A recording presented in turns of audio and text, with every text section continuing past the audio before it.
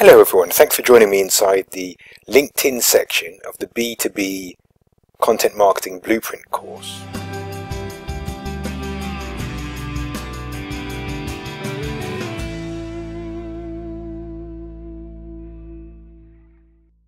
Best place to start for content marketing on LinkedIn is with your profile. So I'm going to just show you my profile because I've filled it out to a very to a, good level and I just want to highlight a few points that you will need to follow. You, because you're B2B content marketers, you're going to be familiar with LinkedIn, so I'm not going to go through every step in terms of creating an account. I'm going to assume that you've already got an account and you've already got a profile. I'm just going to give you a few pointers that will help set you up for success.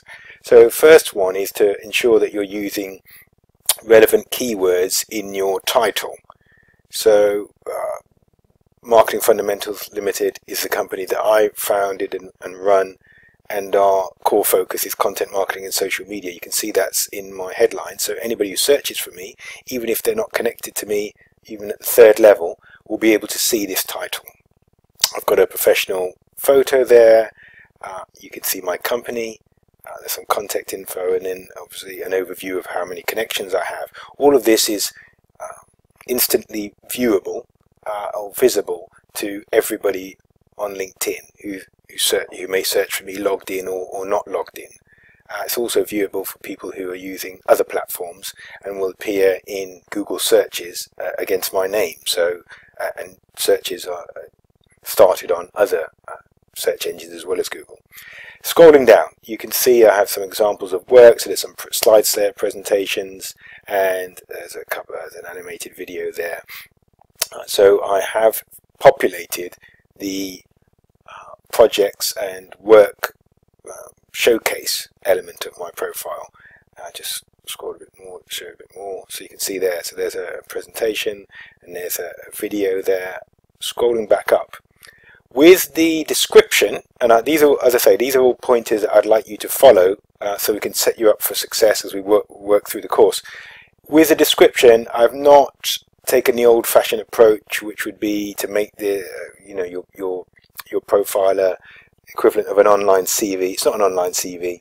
You should be thinking in terms of positioning your business as problem solvers.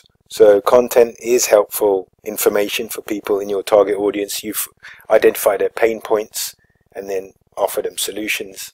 Uh, so even in my profile, I'm asking a question about a pain point they may have. Do you need more leads and prospects for your professional services firms? We're marketing fundamentals, not to, we're, we are, we focus on working with B2B businesses and professional services businesses uh, who uh, need obviously to to build their profile, but also to generate more leads and prospects. Uh, and we use content marketing to do that. That's our focus. We're not content marketing for everybody. So by identifying their pain points in my profile and addressing those, straight away we have their interest and they will want to read on and discover how we can help them.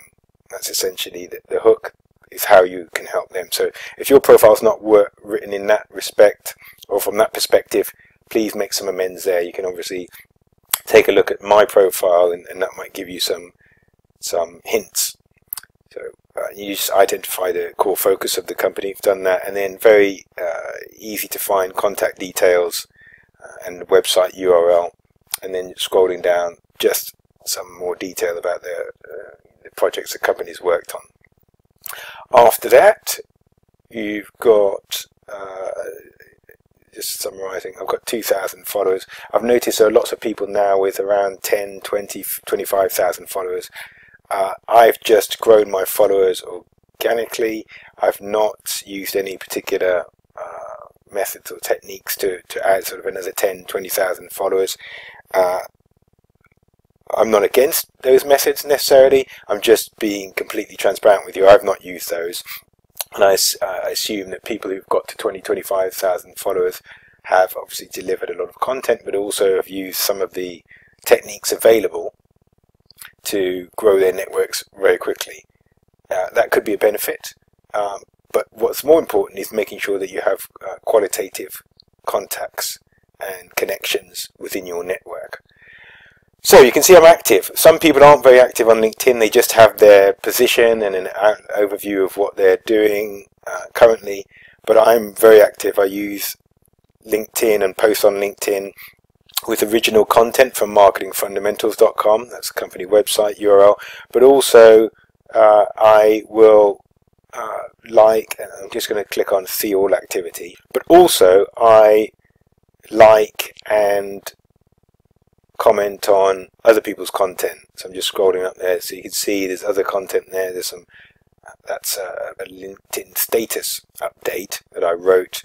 It gives a different perspective. Sometimes we can be too formal, so that was a way of, and that's just a couple of days ago, that was a way of, of uh, showing my personality character rather than just uh, professional achievements some more scrolling down you can see some more content from uh, I've liked somebody else's content there like somebody else's post there more so my my profile is very active each day each weekday I am distributing content and also engage interacting with other people's content on LinkedIn. It's essential that you do that the more visible you are, without spamming people of course, the more visible you are, the more your posts, when you come to make them and distribute them, will be uh, noticed and then engaged with. So that's very important that you're active on the platform.